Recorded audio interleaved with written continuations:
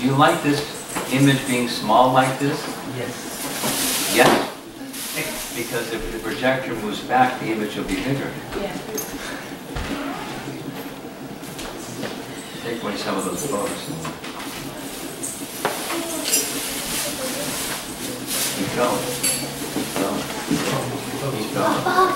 This here, like, Oh, I see. un- unplug it, we can put it in front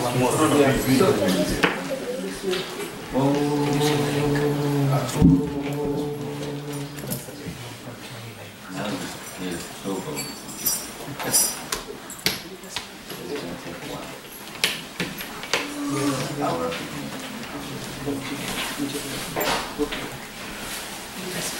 It'll take a while.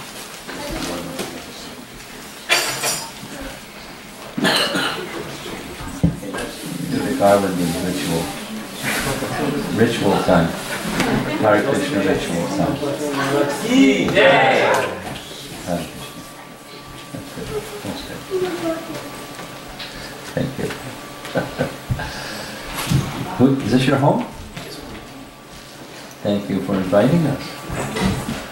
I heard it's a newly acquired home or something like Yes, that. Maharaj. It's been like month. One month. Yeah. So we did, this is the housewarming, Yes, party crashing event. Okay. Does everybody know everybody? No. Does everybody know everybody? Okay, that's great.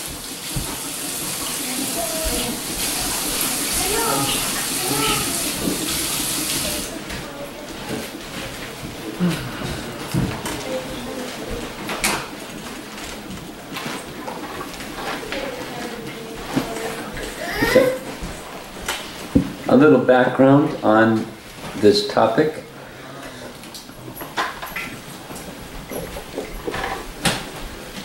Um,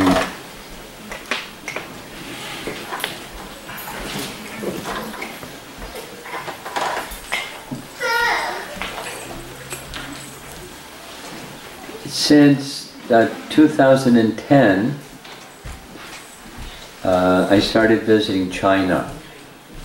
And I've been continuing to visit China for more than two months every year since then. I find it interesting visiting China. And uh, one of the places that I go is in Kunming. Kunming is the nearest big city in China to India. So many of the devotees pass through Kunming to go to Mayapur because the flight from Kunming to Calcutta is two and a half hours, that close. And it's a really good place in many ways. It's kind of like Southern California weather in the sense that it doesn't get too hot and too cold. It's on the western side of a large mountain range, so it's kind of like it's part of man, mainland China, but it's you know kind of not part of mainland China. It has a history because of its good weather, of being a kind of resort place for Chinese people. It has a history of many educational institutions. So it has a kind of liberal flavor to the population. So all around it's, it's like a really good place for finding people that are interested in Krishna consciousness. So that's one of the places I like to go. And in Kunming there's um, somebody who is really good at organizing, reaching out and meeting educated people and this and that without details. So uh, this presentation is part of a series of workshops. Um, after reaching out to new, new audiences in, in a variety of ways, reading clubs, that's popular in China. Um, without all the, the details. So we, we kind of gathered together a group of 30, 40 people that are, they, they, they want to learn more. You know, the kind of people that know that they don't know and know that they'd like to know. Those kind of people. So we had, the first workshop was on the art of meditation because um, like in America, there is a growing interest in meditation. There's already the wave of yoga has already covered China and continuing to grow. Big wave, yoga studios all over the place. Now, within the yoga studios, they're always looking for, you know, the new frontier to distinguish them from the other yoga studios. And meditation has become very popular. So part two, excuse me, part one of these workshops was the art of meditation. then after, after that, the 30, 40 people, we wanted to do part two, so it was this one. The art of meditation because in China, as in America, as in the world, uh, negative emotion is an industry literally. And you'll see some statistics. Now, there, there are some graphics here that are specific for the Chinese population. It was created for that audience. It's not, it's only, not only for that audience, but that's just a little explanation of the background and why you'll see some of the graphics and some of the statistics that you see, because it, that was the audience it was created for. Um,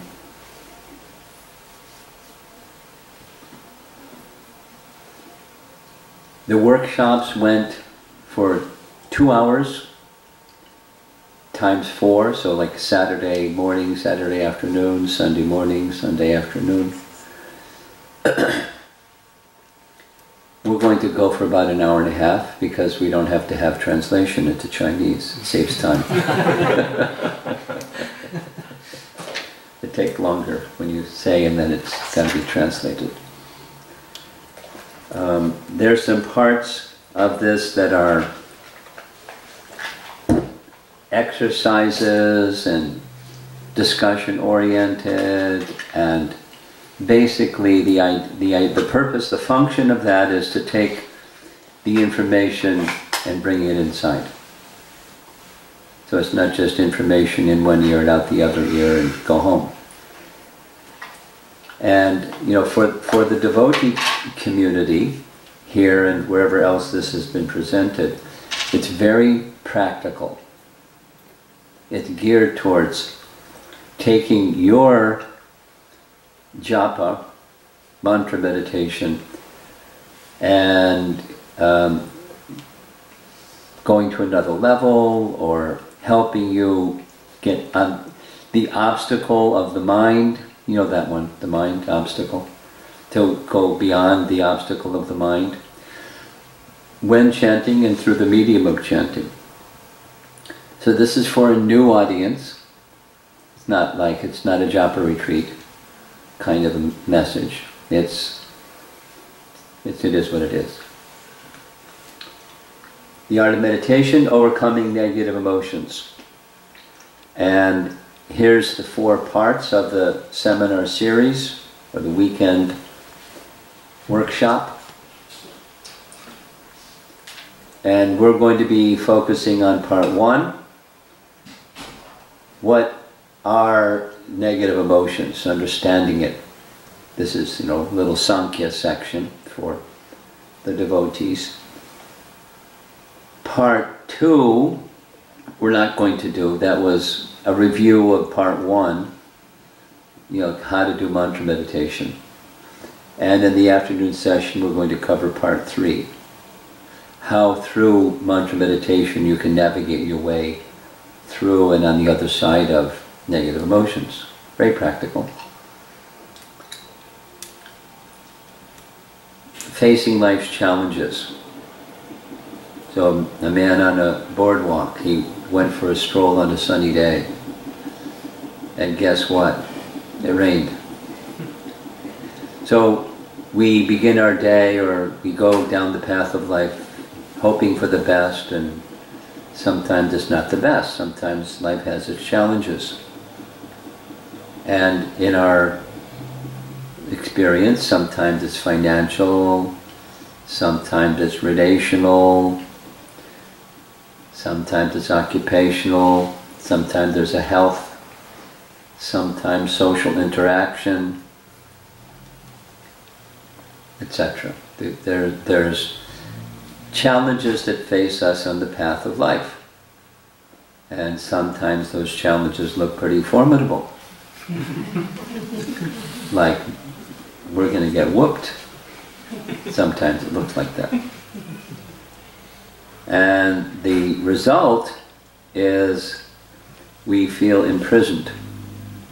We feel disempowered by those very negative emotions.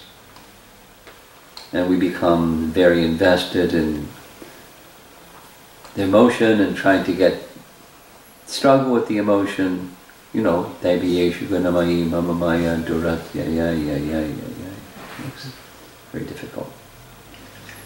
One of the professionals in this field, Dorothy Rowe, says depression is like a prison where you are both the suffering prisoner and the cruel jailer. You can actually let yourself out of jail, you don't have to stay in jail, but it looks pretty bad when you're in jail. And even Arjuna, so helping a, a newer audience particularly, that a little bit, little bit familiar with Bhagavad Gita, Arjuna says, Better for me if the sons of Dhritarashtra were to kill me unarmed. And unresisting on the battlefield, Arjuna cast aside his bow and arrows, sat down on the chariot, his mind overwhelmed with grief. Arjuna, with his mind depressed, his eyes full of tears, Krishna spoke. Depression isn't a new thing. and the range of negative emotions is very broad. And this image is meant to show that. Um, and it's not something foreign to any one of us. We all know what negative emotions are and what they feel like, at least some of them. Some of them it's a despairing sense of hopelessness. Sometimes it's a feeling of loneliness. I know some devotees that's they're caught in that feeling. Sometimes it's anger. I know some devotees that that's a problem for them. Not exactly looking like that, but uh, a common one for people of this world is self-sabotage. We'll see this image again. Prabhupada spoke about it. This was in Mayapur, I was there in a, in a morning walk conversation. He was speaking about uh, his young Western disciples. He said, you like to flirt with Maya. You go out on a limb and see how far can you go before the limb starts to crack. And then you run back for the trunk of the tree. That's what you, that's what you Western disciples do. But it's not something someone is doing to us, it's something we're doing to ourselves. We're putting ourselves at risk and then saw the limb. Anxiety, and fear of un and uncertainty of the unknown, blaming, feeling resentment, why have they done this to me, etc., etc. So these are some examples of negative emotions, and there's uh, more. This is an interesting um, study on consciousness. Now it doesn't say specifically through meditation, but there's low consciousness, high consciousness, and um, vibration, I don't know exactly what vibration they were measuring, but uh, I find it interesting down here at the bottom, shame and guilt. And way at the top is higher consciousness where there's enlightenment. Just below that is gratitude. Even below gratitude is peace, joy, and love. And even below fear is shame and guilt. Just a little sharing. Um, somebody sent me a, a TED talk that I found interesting. I've, I've watched it multiple times. I've shared it with teenagers uh, particularly. Um, the, the person speaking is Brene Brown. By profession, she's a PhD in social work. And uh, she, she's a researcher in, in um, social dynamics. And the, the title of it, you can find it, uh, look under um, vulnerability and just TED Talk vulnerability, and you, it'll take you there. And what she did for her PhD thesis is over a period of some years, six years or something, she studied what she calls in this TED Talk the wholesome. And that's people that have gone beyond uh, the negative emotion phase. And she wanted to see what was particular about those people. And she found they were open to the idea of vulnerability. Now, what we were discussing in the morning class, and we'll continue to discuss, is um, it's, the, it's the bhakti process. It's, it's anything. Where you're going from where you are to where you want to go. There's this space in between. One of the terms that's used is liminal space. So you're, it's in Bhagavad Gita. Krishna, Arjuna says to Krishna, you're speaking this process of yoga. What if I take up this process of yoga and I don't make it? That I'm not, I'm neither there nor here, I'm nowhere, like a riven cloud. So that's vulnerability. And Krishna's reassurances, don't worry, the bhakti process is such that it stays with you, even if you don't complete it. In your next life, you'll continue it, and you'll get a human birth in your next life. So, do yoga. Be vulnerable. be in your relationship with Krishna. It's perfectly fine if you don't reach perfection. I mean, try to get to that place. So, in Brene Brown's um, message, one of the things that prevents people from having relationships where there's trust in the person, knowing that the person is not perfect, I mean, who's perfect? Krishna is perfect.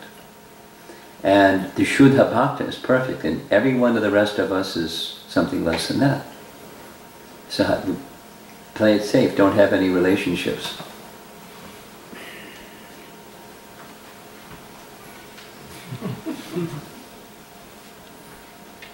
No desire, be a Buddhist. Go into this nirvana space and don't have any relationships, don't have any suffering, don't have any joy, don't have anything, just. But that's not a sustainable position because that's not who we are. We're living entities that do have desire. So, desire has to be directed with knowledge and wisdom and this so this higher consciousness place is the opposite. So she said people don't, the thing that holds people back more than anything is shame. That was part two of her TED Talk. So the whole topic, the first one is vulnerability, the second one is shame, because that's what holds people back. It's low consciousness, and at the bottom of the pyramid of low consciousness, according to this study, and similarly according to Brene Brown, is shame. I found that interesting. I normally think of fear as, I mean, of the animal propensities, fear is the greatest. If one is engaged in any one of the other three animal activities and something that's life threatening comes along, you stop the other three and you do the fear one. You do the protection from harm. Anyway, this pyramid shows shame and guilt goes even lower, and that's part, that's a negative emotion. I didn't make it, I'm not good enough, etc. We're going to be discussing this in the morning discussions also. Um, Gita values. So here's the higher consciousness kindness. There's a happiness that goes with acts of kindness. We all know what that feeling is. It's a mode of goodness feeling. And joy, at least, you know, temporary material joy. Honesty, these are mode of goodness qualities that bring a certain contentment. Service to others brings a joy. Forgiveness brings, it's a higher consciousness position to take. And peace. So there's the neutral, sit by the side of the ocean and as the sun is rising and feel peaceful and there's an inner peace that people strive for. So that's, this is a, these are higher consciousness qualities that take one beyond negative emotion. So now, um, what I did in China, I'm, I'm going to do it differently here because we're not in China. I had somebody who was um, a facilitator do facilitation, but I'm going to do this myself. Now, what I would like to do, uh, I, I like to like stand up and move around and kind of get the energy moving, kind of thing. I'm doing this is the professor position. I'm going to get up and do the facilitator thing. Okay, I'll do it. So we're going to um, ask you to take a couple of minutes silently and you, you, you can write it down if you like, or you can just contemplate.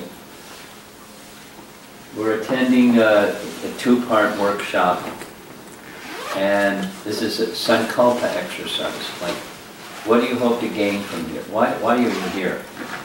Besides somebody said it's a good thing. Why don't you come? So it's a serious question because Intention helps to focus attention. And we'd like attention to be applied so you can receive. Don't take two minutes, silence, and there's a couple more questions. But I'll, I'll, I'll wait till we do this one before we give a couple more questions. This is introspection.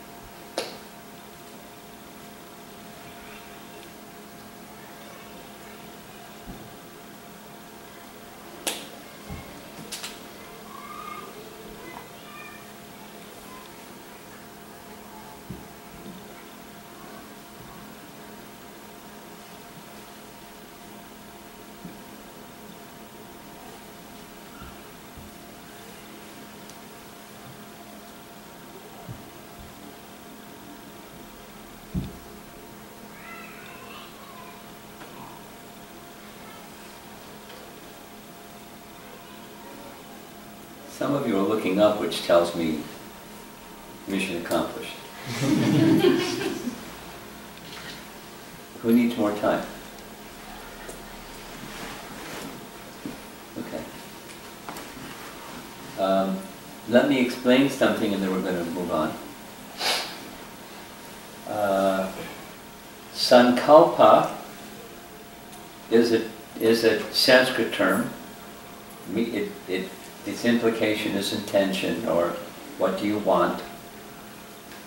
A common place for sankalpa is in karma kanda rituals. You go to the priest and say, I want. And then he knows which ritual to perform and which mantras to chant and which deva to propitiate and so on and so forth. It's right in the Bhagavatam, Canto 2. If you want good health, you go over here, you worship the sun. If you want wealth, you go over there, you worship such and such. If you want, so sankalpa is intention. It has a function. And its function is to focus attention. It's, I likened it to um, a magnifying glass. And something that I did when I was little was I played with a magnifying glass by holding the magnifying glass at a certain angle and a certain distance from a piece of paper. And then there's the light of the sun that's everywhere, but the magnifying glass has this effect of bringing the light of the sun held at the right angle to a little spot. The spot will burn a hole in the paper. It's the same light of the sun that's everywhere.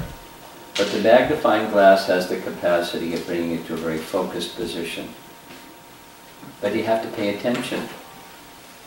Because if you move magnifying glass, that little focused spot of light dissipates and doesn't have the same effect, doesn't burn anymore. So you have to pay attention to the position of the magnifying glass. Similarly, sankalpa means intention. And it helps focus your attention in something that you're doing so that you can get the result of what you want. But of course, you're dependent upon Krishna. It's not just your attention and intention take care of everything. We're, we're dependent beings. The bhakti process also requires intention. Supposing you don't, you're not clear what your intention is. I'll give a little example. I was in college. I had a friend that had a sports car. And then sports cars were like, you know, nobody had a sports car. It was like, cool, he had a sports car. It looked like a little miniature one. And every weekend, every Saturday, he'd go for a ride. So I asked him, when you go for a ride in your little sports car, where are you going? He said, just going for a ride. And my reply was, I hope you get there.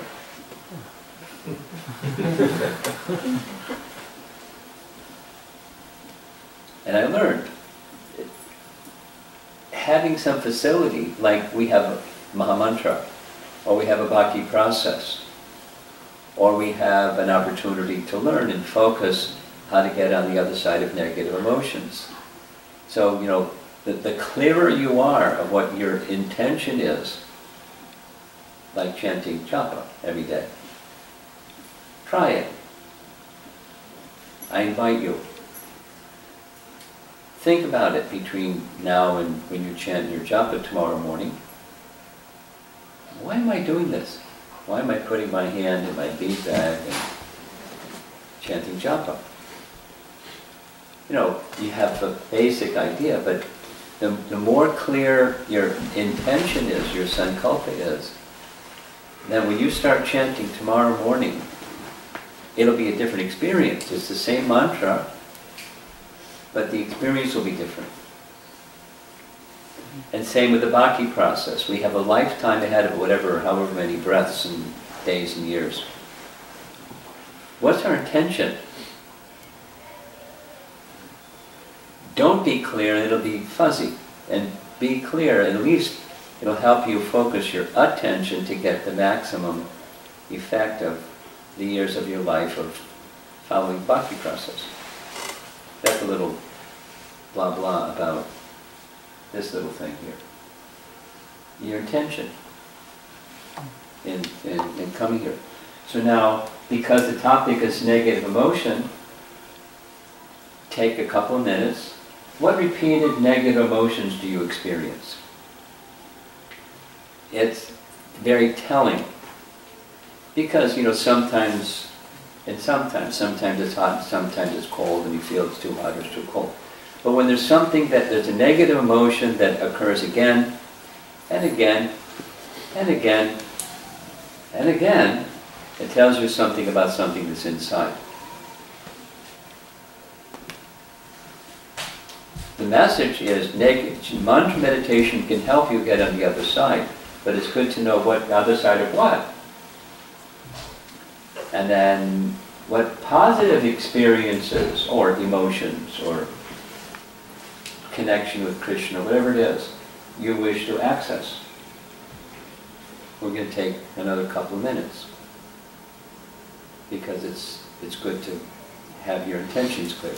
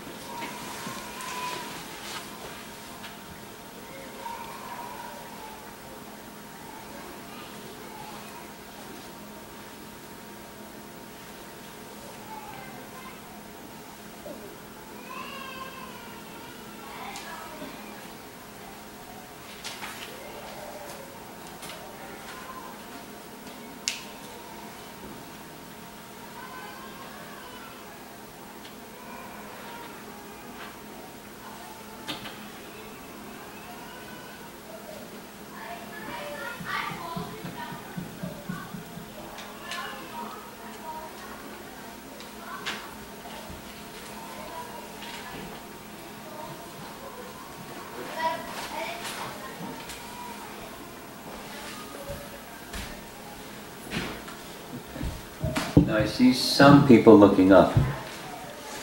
Here's what I'd like to do next.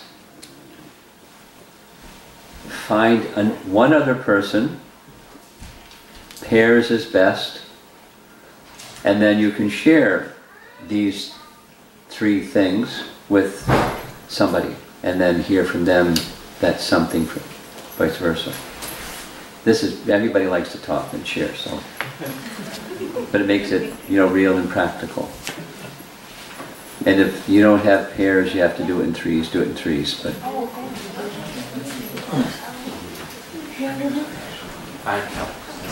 Okay, take it away.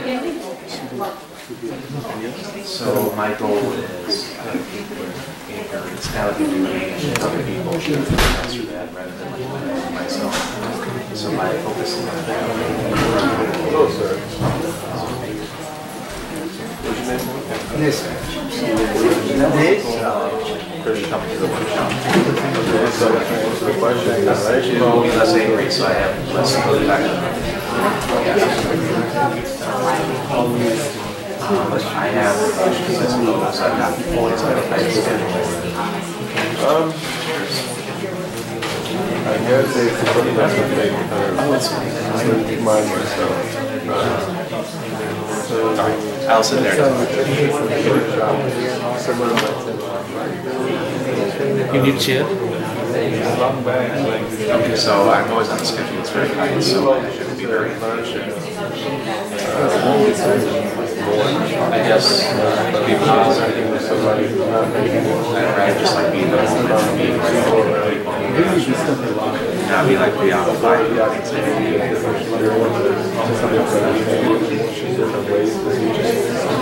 Uh, It's just, um, impatience. It's really hard stuff. I mean, the problems that are negative emotions, I don't really know. Well, actually, um, I've, worked more than I checking out the grocery store for some reason, and someone had a VSB available with the cashier. And the very blessed the opportunity reason where I work. Um, That's a minor thing, but it still shows that it worked. I have this. You also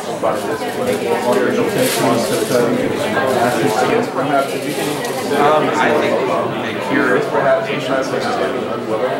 just be mindful of the preoccupied with what you have to do. You're not but just like be present like this by doing so you're I guess I'm, I'm seeking that Negative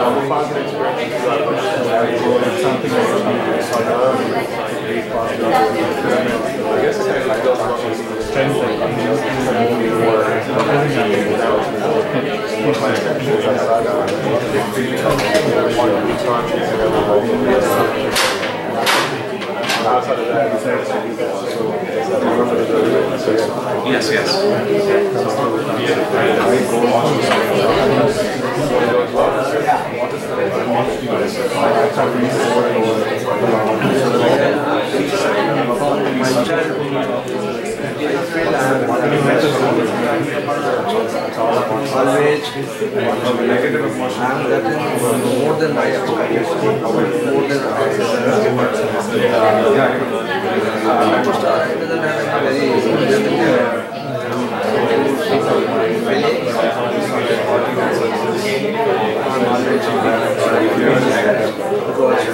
what happened after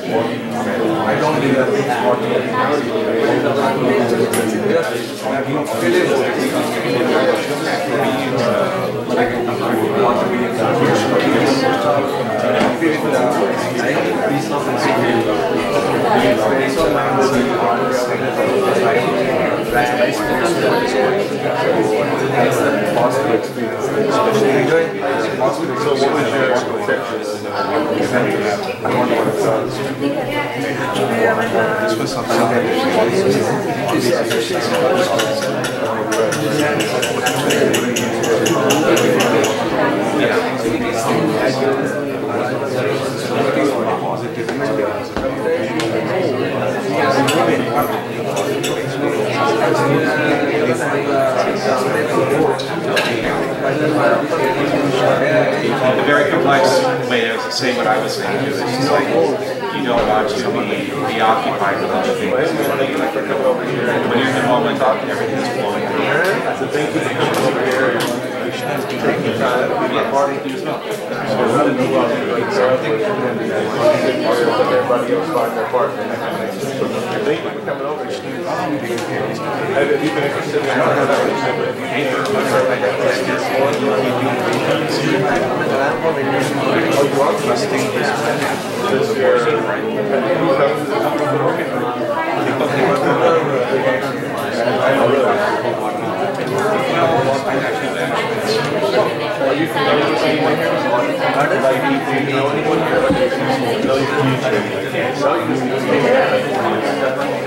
Oh? Trying to finish up. Another minute, please.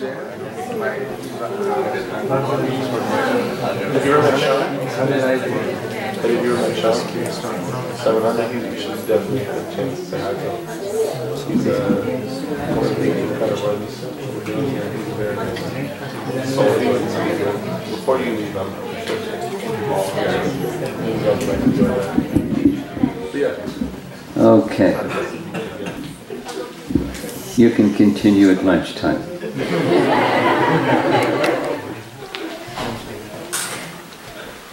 So now we're going to explore a little bit what people who are, this is their profession, they look at negative emotions and they want to look at how to resolve them, so it's good to know where they come from. And using a computer analogy, they say that's basically three sources uh, the hardware, software, and the user. Our physical condition, our mental condition, and who we are, our conditioned self, at least, the user. So here's an, an image meant to show modern life. And in modern life, uh, there's lots of hardware improvements, but there's not a whole lot of software improvement. Um, more comforts, more conveniences, but lots of negative emotion. And here's some statistics. Mental disorders, this is clinical, going from 1968 to 2011, there's a noticeable rise. This is um, numbers per 100,000 people. So it's, it's, it's, it's rapidly increasing mental disorders statistically. And those that study this subject call it a virus. Anxiety disorders are the most common mental illness in the US, affecting 40 million adults in the United States age 18 and older, or nearly one fifth, 20% of the population. 300 million people around the world have depression. This is clinical now, not just like they feel down. Employees, this is now for China. At 50 of China's top companies in 30 cities, 78.9% of those surveyed showed signs of agitation, 59 plus percent reported anxiety, and 38 haunted by depression. That's a China statistic, not so different from other parts of the world. They call it a raging virus. 16.2 million adults in the US, that's 6.7% of all adults in the country, have experienced a major depressive episode in the past year. That's a big number. It's estimated that 15% of the adult population, that's US, will experience depression at some point in their lifetime. An estimated 3.2 million adolescents age 12 to 17 in the US had at least one major depressive episode. This number represents 13.3% of the US population of that age group, and nearly 20% of adolescent girls have experienced a major depressive episode. US dollar amount is, is, a, is an industry. $210 billion per year. That's a big industry. If you want to get money, go into this one.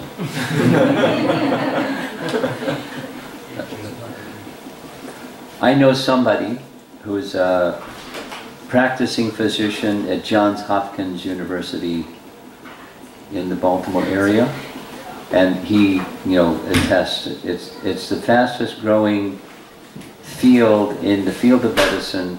Pharmaceuticals, you know, have new products all the time. Da da da da da.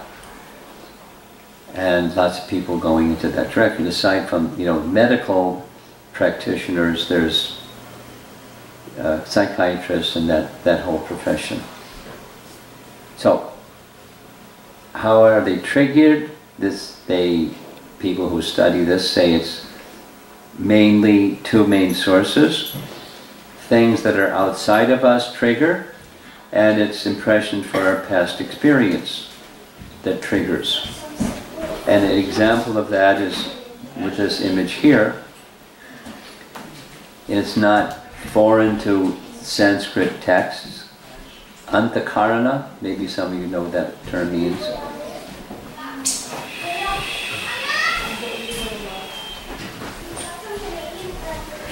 It's, um, it's a term that applies to the mind, but it's the sum total of our mental impressions, kind of like your swabhava of the mind. It's the, uh, the, the, tendency towards a certain um, emotion. So the image is somebody standing by the side of a, a lake somewhere, And for somebody, it's a great adventure, and for somebody, it's a source of fear. And it depends upon, a lot of it depends upon the antakarana, or the impressions from the past. So, um, supposing somebody had an experience in this lifetime or a previous lifetime where they died or nearly died, they had a horrible experience with fire. So all it takes is seeing a match, and that triggers an emotion.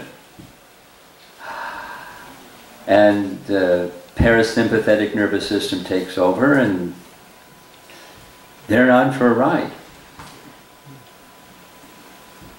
I had an experience like that from my childhood. Just, you know, so it's not like it's other people. I had an older brother. He was nine years older than me. And you know how boys are. They would sometimes tussle. And so my brother had this practice when we would wrestle. He was nine years old, he always would win. And then he put a pillow over my head until I, you know, screamed. And then he took the pillow away because you know so it it created an impression a, a, trauma impression that I didn't even remember because when I grew up I didn't remember that that experience until I was we were in, in a high school field trip we went to see uh, a, a fort something or other and we went into a place where they had they kept prisoners and all the kids filed into the little space that they kept prisoners, and I was towards the back, and I got claustrophobic. And I had to get out of there. Hmm. And I had to, so it was like, I didn't have, there wasn't, there wasn't, wasn't, there was nothing rational about it. It's just my parasympathetic nervous system took over and I got out of there. You know, I knocked some people over to get out of there, but I had to get out of there because you know, that antakarana was ruling.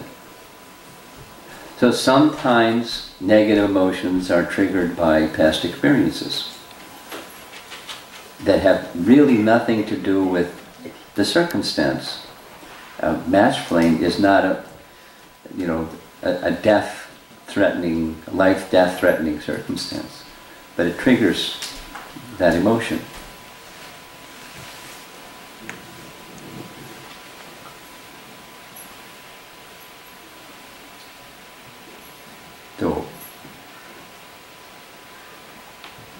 So I, there's, there's further examples, but you get the idea.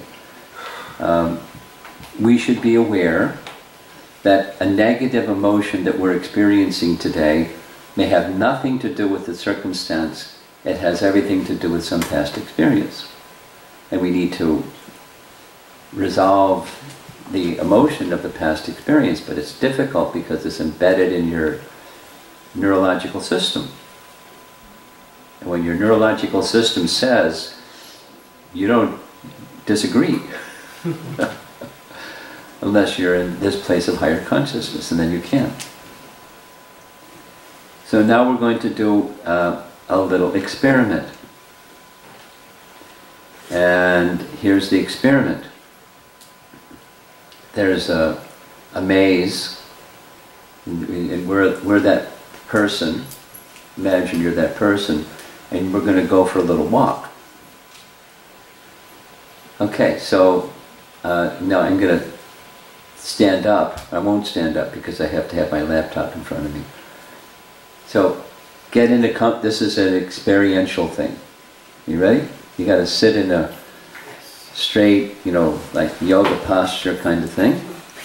And, you know, get as comfortable as you can. You can do it in chairs too. And um, I'm going to ask you to close your eyes and take five deep breaths like you're doing pranayama or something.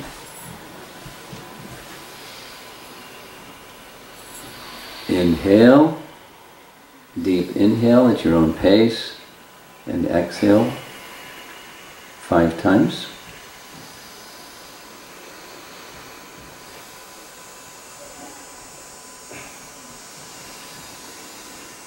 two,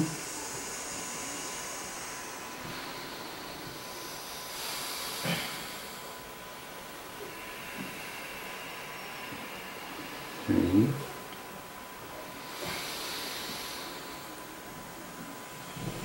four,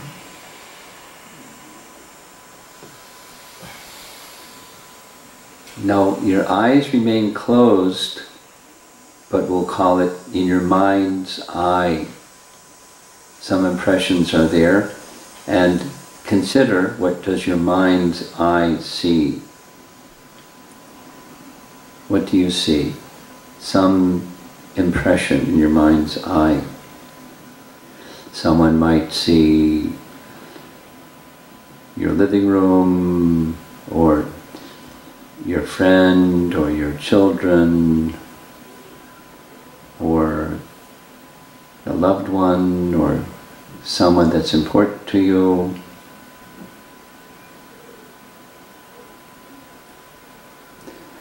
Then, while considering what's in the mind's eye, take a step or two or three back and consider that you're the observer of that which is in the mind's eye. There's a spiritual you that's distinct from the mind and the vision within the mind. And whatever emotions are connected to that vision that's within the mind. And that's the you, the observer, the spirit soul. That's who you really are. And stay in that space.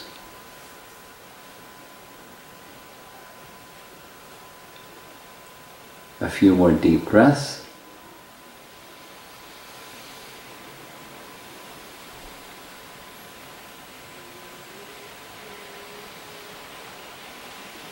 And then we can connect again.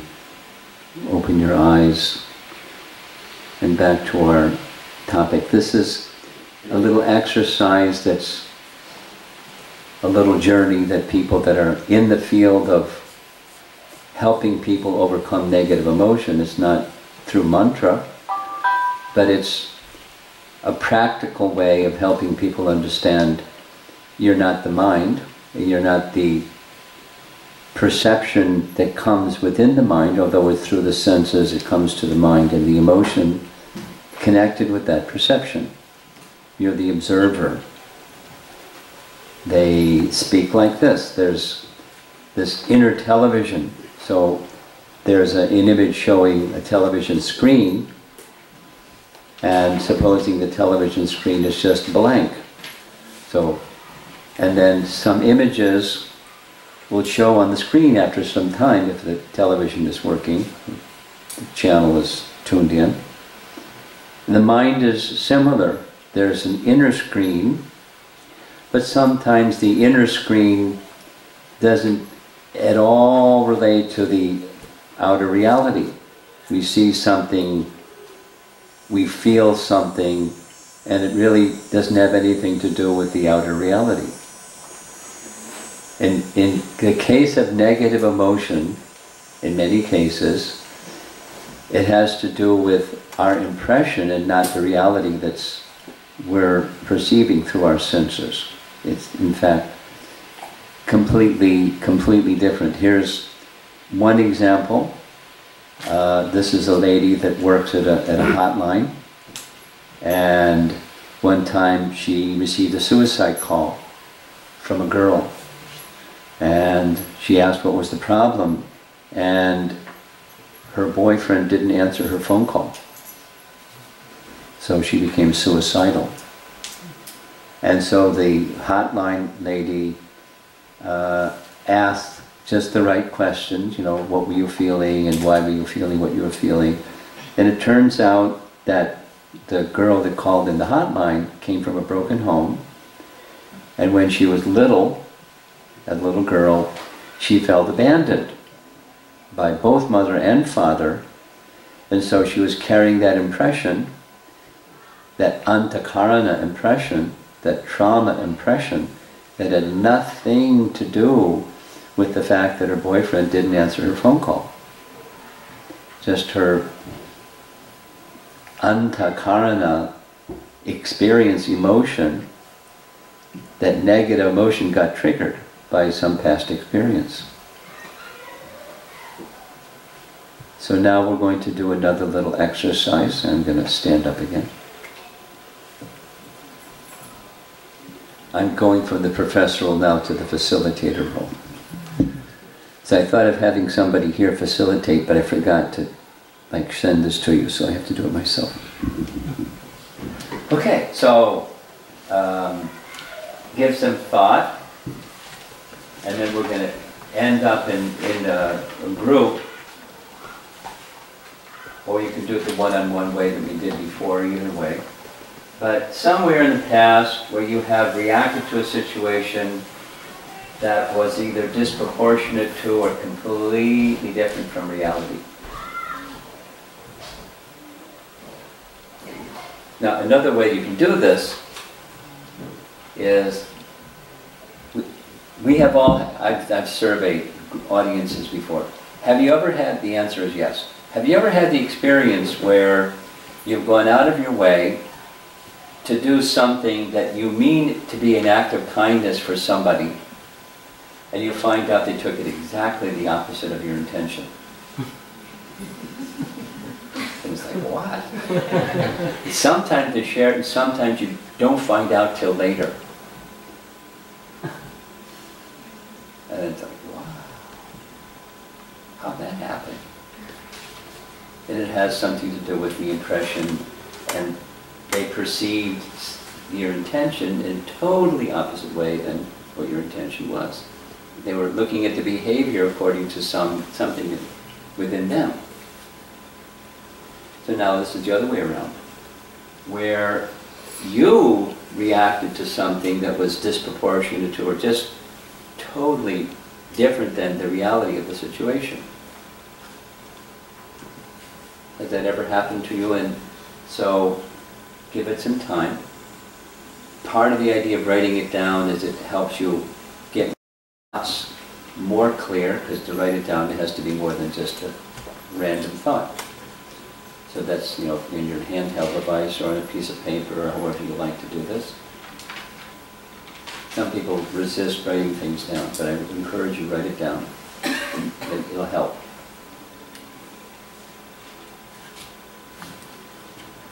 And then at the end, I'll, I'll ask,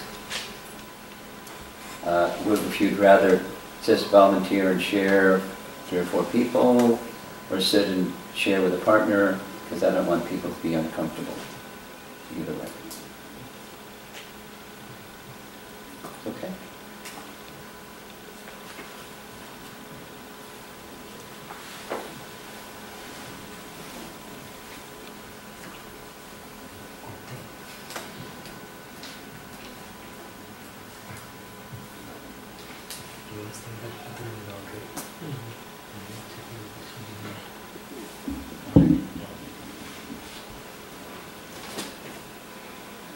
The sharing part doesn't necessarily have to be what the experience was and what you've, but it, it's, the question is, what did you learn?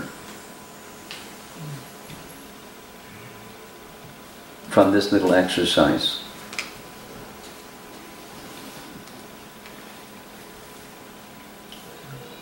About that negative emotion and particularly going into the future, how to deal with one possible way to deal with negative emotions.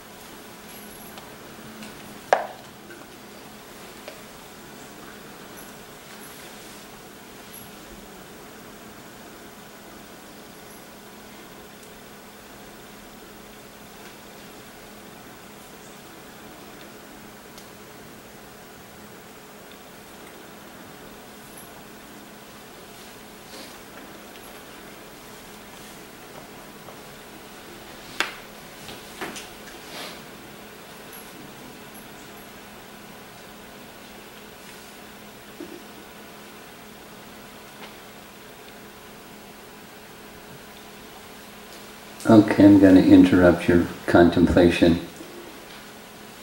While it's really interesting to hear from one another the misperception, what's more important, you know, the specifics, the anecdotal specifics of the misunderstanding or disproportionate perception of the, the, the reality of the situation. What can you learn from this? Like, check reality before you react. Or don't trust the mind. Because the mind has a tendency to misread things.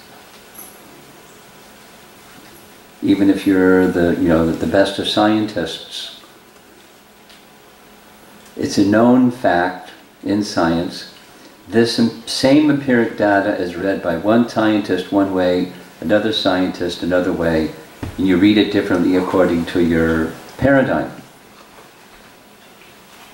So emotions similarly, it's a roller coaster depending upon how you read the situation. You may not even have the correct impression of the situation.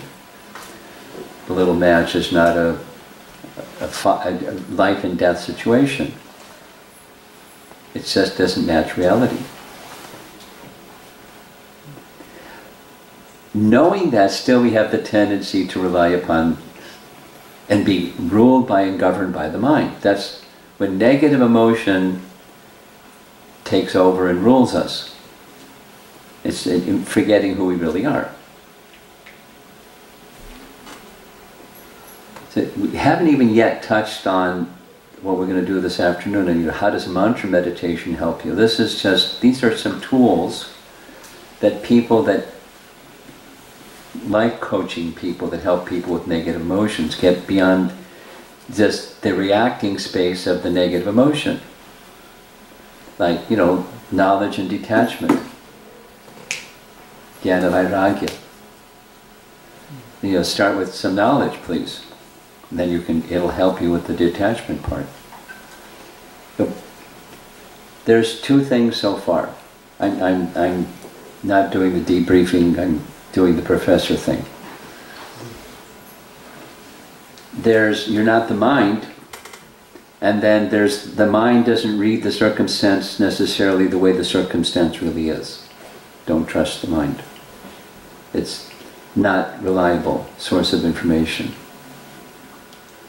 We still have a mind. We can't like just anesthetize it permanently, have a lobotomy, and you don't have any bad impressions anymore. No more negative emotions, no more emotions. That's not practical solution. But beware of trusting the mind. So, anybody want to add anything to that little sharing part that I just did? Understanding others' perspective. Hmm. The situation might well happen. Maybe I'm, we are thinking in our own way, but we understand other perspectives of thinking. Then the situation will be more clear. So, what to do in that circumstance? That's that's the concept. What what's the practical behavior to do to match that concept? Ask the other person. Or here's another one. Share your perception. When this happened, this is what I felt. That's novel. Now you're not holding the other person responsible for your emotion. You're responsible for your emotions, not somebody else. But let the other person know when this happened, these, I, this is what I perceive happened, this is what I felt. And they can say, oh my gosh, I didn't know you felt like that. Or, oh my gosh, when I said this, this was my intention.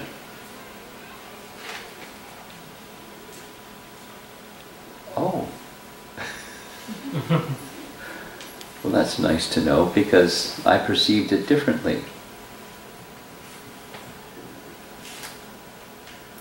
Okay, any other, this last debriefing, what did we learn from this little exercise?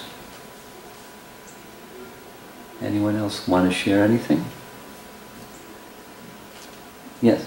Question, Maharaj. So many times we don't know where it is coming from, the past experience. Yes, that's right. So, That's okay. It's good to know that you don't know. and it's good to know that that may be, not necessarily, it may be where it's coming from. Something back there that I don't know what it was. But here comes this emotion. And when you're when you're in that I don't know and I'd like to know space, there's some there's some neutrality or detachment. It doesn't necessarily change what the emotion is, but you can be detached from the emotion that's happening. It can be raging, but you can be detached from the emotion. If you know that you don't know and it's coming from some place in the past that I don't know what that something was knowledge and detachment. It's it's it's a it's not a it's not a cure to the emotion, hmm. but it's a, you don't get carried away by the emotion. So that's like the next slide. That's for people that are involved in this uh, field of negative emotion. They call it the avalanche effect. Something that's becomes overwhelming the mind magnifies stuff. And I learned this from visiting, I visited a place, I, in the past I visited a place where there's big mountains and there were occasional avalanches, and I like, learned from the local people what they do, you know, what starts an avalanche. And commonly, not always, there's a lot of light snow. So before the persons even approach that mountain that has lots of light snow, one of the things they do is they fire uh, uh, a gun and it hits towards the top of the mountain. What that does, it agitates the snow that's light at the top of the mountain and it starts to fall. And sometimes that little bit of snow that falls builds and builds and then you get the avalanche. But if they fire and it doesn't create an avalanche, then it's safe. It's just a precaution. But it's how, it's, how avalanches start. A little bit of snow up there, and it falls on light snow below, and it comes down, and people get buried. Or whatever is in the way gets buried. And that's, the mind has this avalanche effect, and it's discussed in Bhagavad Gita, no surprise. Right from uh, Bhagavad Gita, there's the process of thinking that comes from the contemplation of an object, right? You contemplate an object and there's some thoughts about the object, and then from that thoughts about the object you have some emotions about the thought, connected with the thought, and then sometimes there's, if it keeps going, there's an obsession. I have to get something or I have to get rid of something there's a happiness or distress factor then pursuing the happiness or relief of distress factor. And it becomes an obsession. And sometimes obsession leads to destructive actions. You feel self-trapped, that image in the beginning of the man is in prison, gotta get out of here, or that claustrophobia, or here's the fire, or here's some water, or here's something, and it becomes an obsession. You have to relieve yourself of that intense emotion, and it can lead to some something very destructive. So it's good to ask yourself the question. Back to Rasamritas, you know, I, I don't, I may not know what that past thing is, but there's is this present, is the perception and the emotion connected with the perception connected to something in the past? And that pause space helps one make a distinction between the self and the mind, just like the, the distinction between the mirror image and the person who is in the mirror image, the person who's holding up the mirror. The mind can be like that. And when that detachment happens, then that emotion, you don't have to tuck the emotion under the rug or run away from it or pretend it doesn't exist. With intelligence, you can redirect. With intelligence, you can direct the mind. Supposing, for example, somebody says something mean, and you feel something. So, there's an emotion. You feel some emotion, whatever that emotion is, when somebody says something mean. Now, you have some options if you're in this detached space. You're not that emotion, whatever that emotion is that you're feeling. You, you, you're, the emotion was triggered by someone's mean speech. Now, I can redirect that negative emotion. It's certainly a possibility if you're if you're practiced at it. Like, here's a here's a possibility of, of them out of a menu of possibilities. Here's a person who is pained a whole bunch.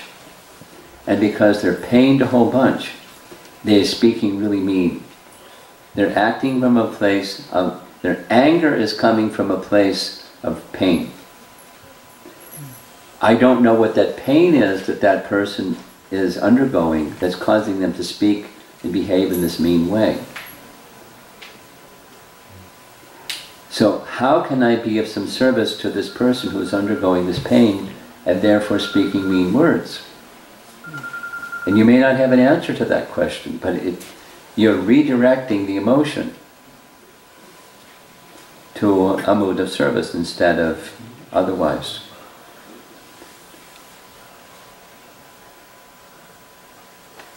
Here's a Bhagavad Gita verse where Krishna speaks on this point.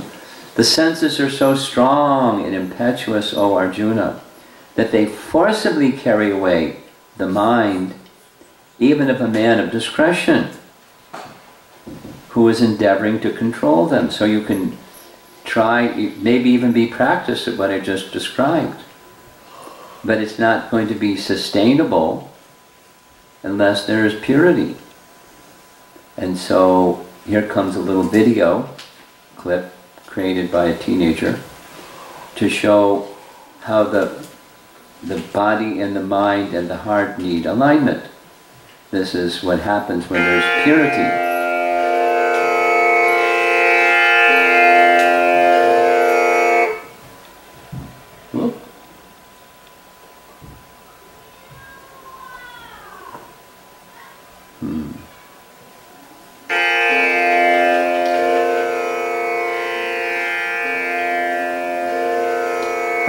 Alignment of the body and the mind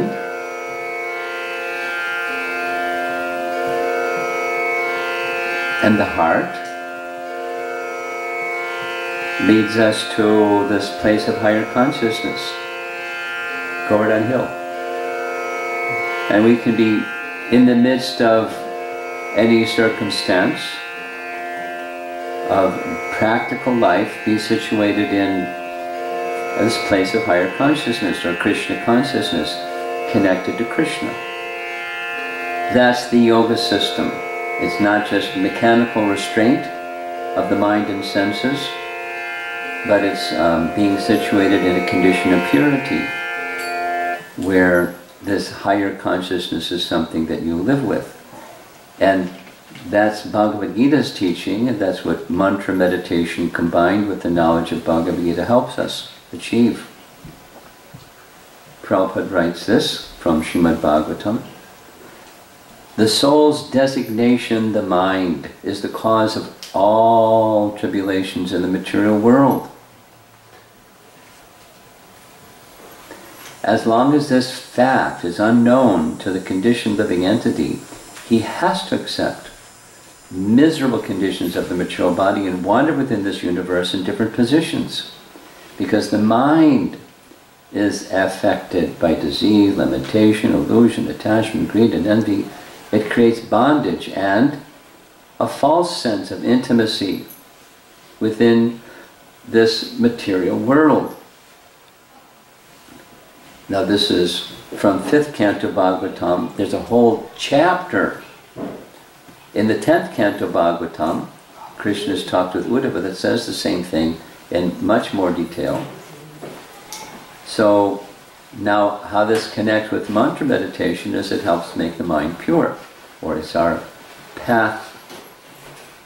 Cheto darpana marjanam, making the mind pure so that we can then be connected to the heart, at least potentially, and through sound vibration, getting in touch with who we really are. So that's uh, a lesson in what negative emotions are. That was the title of this part one. What, what is the negative emotion? How, do it, how does it arise? How can we help overcome? And ultimately, how does mantra meditation help us?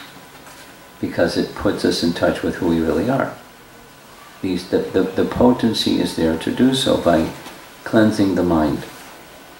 And it doesn't work just by, you know, conceptual thinking about it.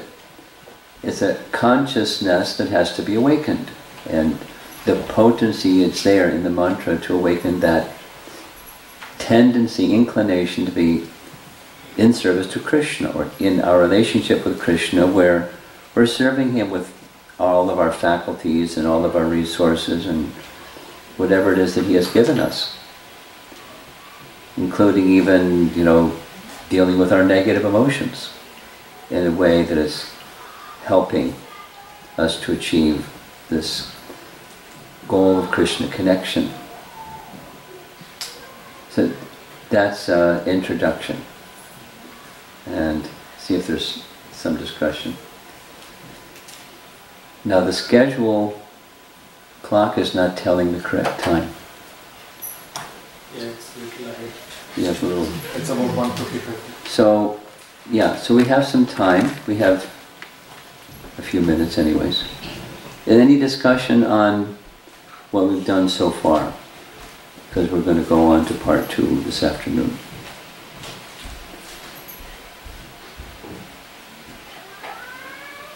Yeah, Hare Krishna Maharaj. Uh, towards the end, you showed us a slide on how to uh, be properly situated where we don't identify with the emotion but trying to realize our true identity.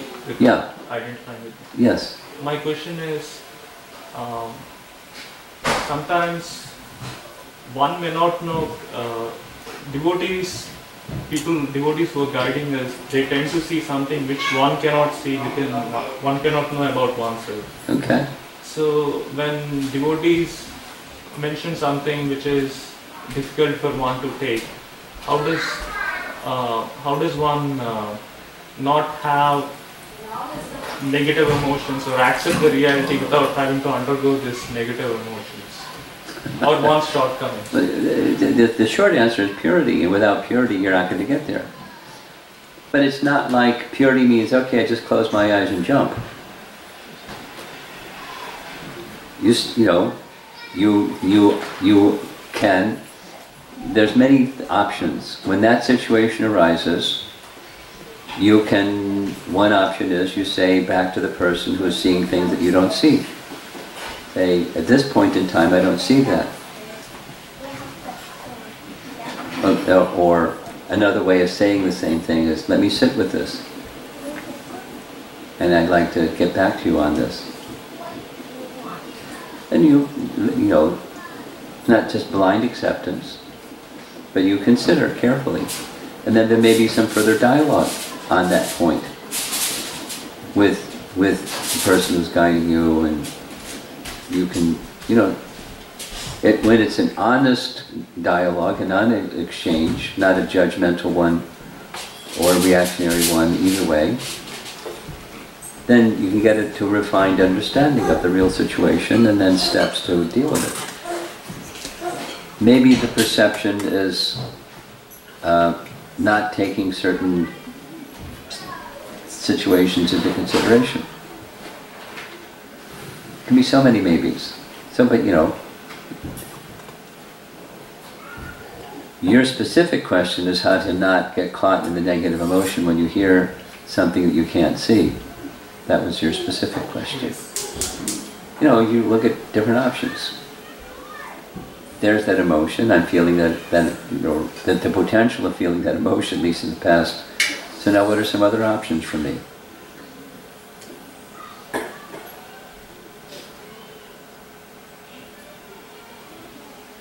You consider. Consult the person, you know, some just like you're doing right now. Sometimes I'm in the space. Sometimes you say you see something that I don't see. Here's an example, but I don't want to just focus on the example. I want to understand how to how to move forward when those situations arise. But here's an example, so you know what I'm speaking about. You, you, you have a relationship with this person that's guiding you. And there, there needs to be some trust. It's not like that person has to be a perfect person. Otherwise you can't give any, invest any trust. That's this liminal, excuse me, this vulnerability message. You have to have someone guiding you. And it's not that that somebody guiding you has to be Krishna, you know, a perfect person, or Shukadeva Goswami, or a perfect person. They have to be following and you know worthy of your trust. We need such persons in our lives, and you then you have some dialogue, just as Arjuna did with Krishna. It may not come quickly. It's okay.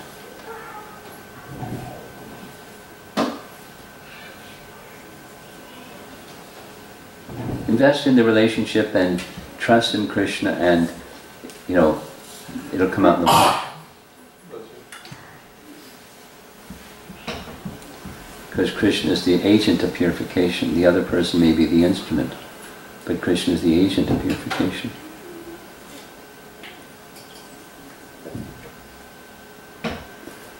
In God we trust.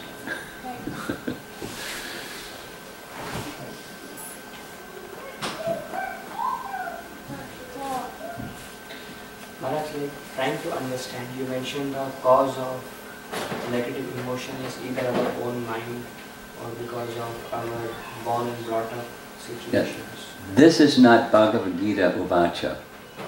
This is people that practice in this field say these things. I want that clarity. clarity.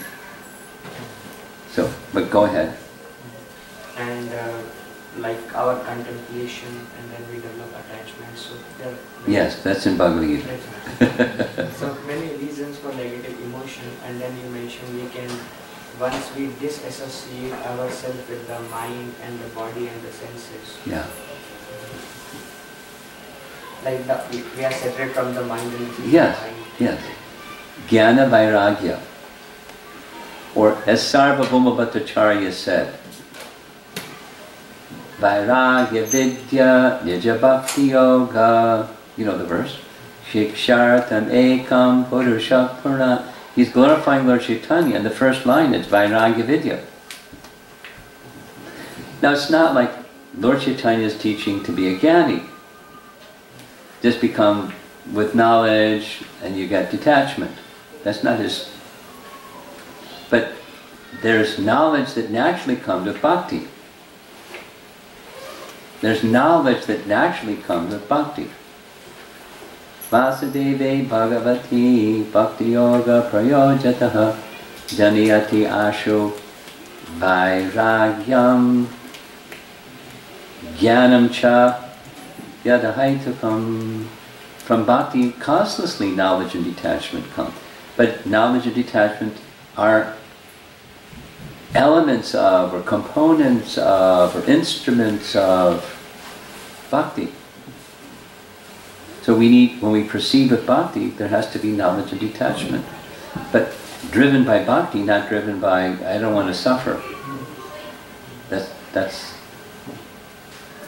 not going to take us to beyond suffering. It's going to take us to more involved into the material energy, struggling.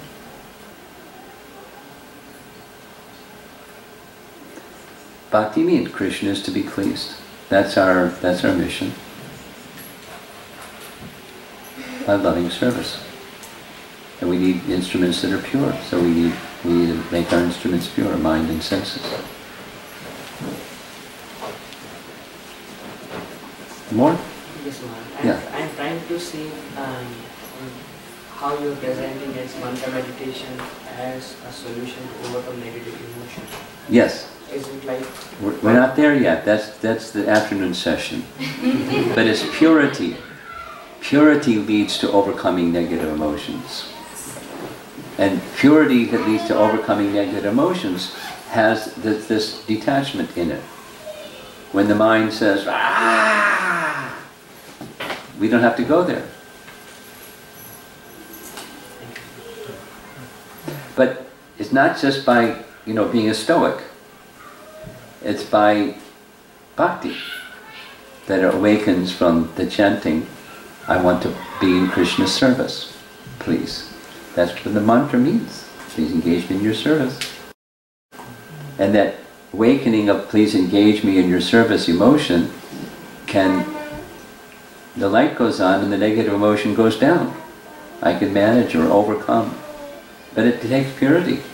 And then I have to do some managing of the situation with the tools given.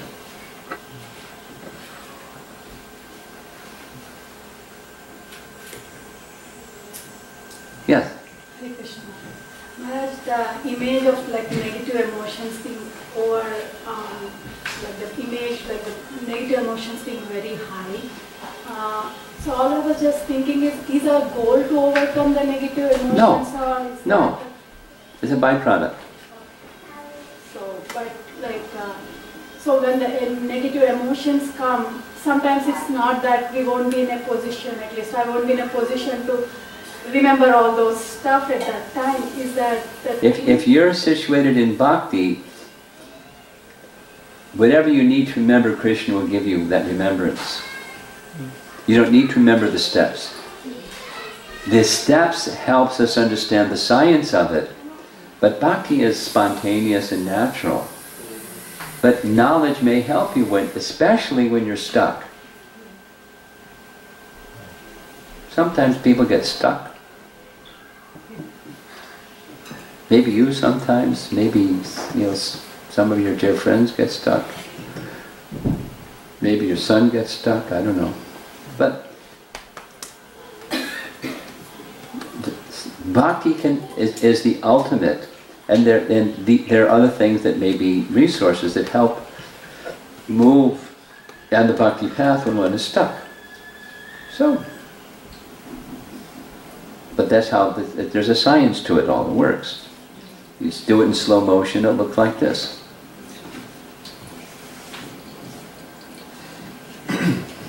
It's, let's just take, you know, apart from this negative emotion thing, creation.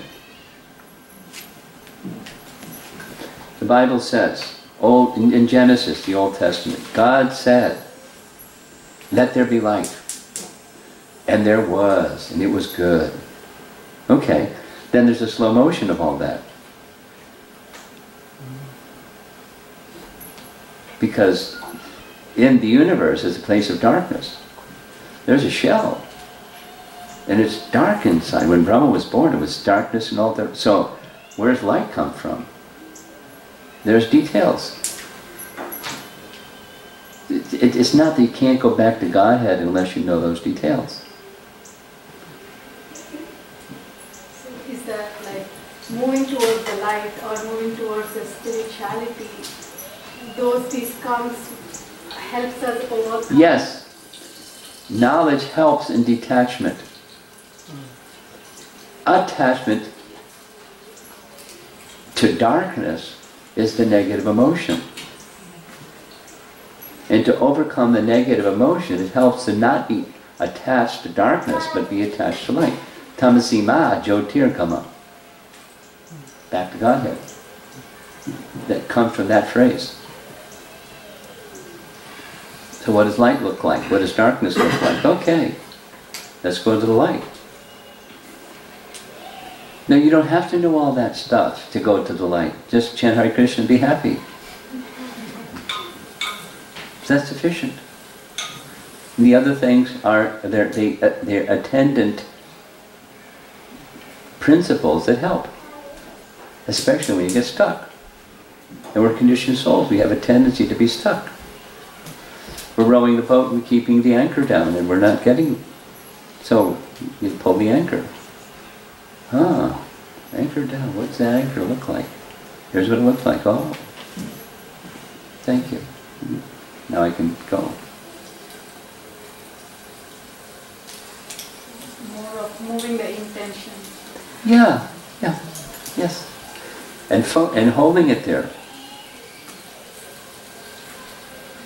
Sticking with the intention. Yeah, then then the you know the, the process of bhakti burns the the the, the stuck position.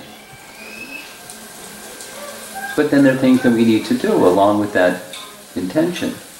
You have to do some managing of you know principles of life, the body and the mind and the heart. But the power the locomotive that's pulling the train is bhakti. And then there's cars following the locomotive.